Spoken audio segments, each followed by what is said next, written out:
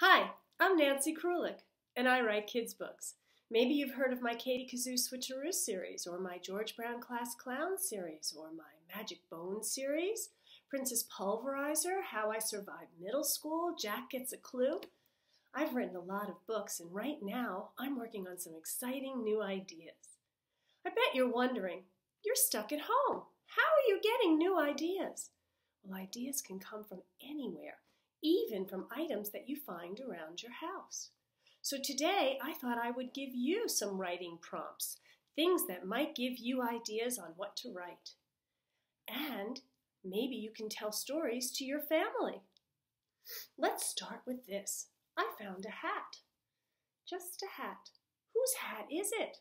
Where does this person wear the hat? If you could go anywhere in this hat, where would you go? Wow. Here's an empty picture frame. What picture was in this frame? Why isn't the picture there anymore?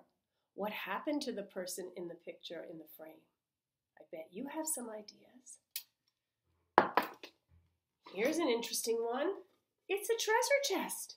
What's inside? Where did you find it? If you found a treasure chest, what would you do with it? And what would you hope was in there? That's a good writing prompt. Ooh, here's a creepy one. It's a scary mask. Where do you think the mask came from?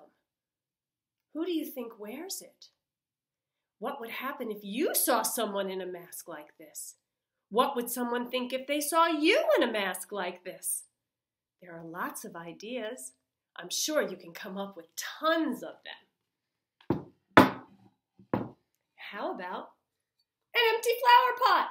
What would you plant in an empty flower pot? Why is it empty? Do you think you could grow something magical in here? What would you grow? And what would happen when you did? Here's an old, old leather book. I wonder what the story was that was in this book.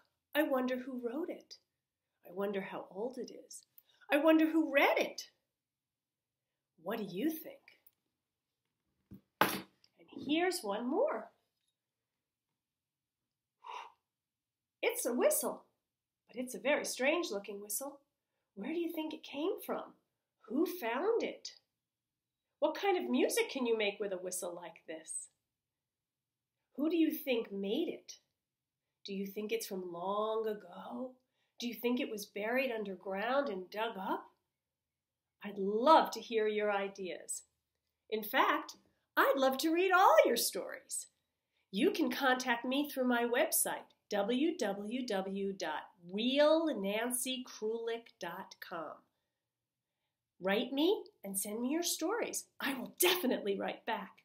And in the meantime, keep reading, keep writing, keep smiling, stay safe. Have a great one.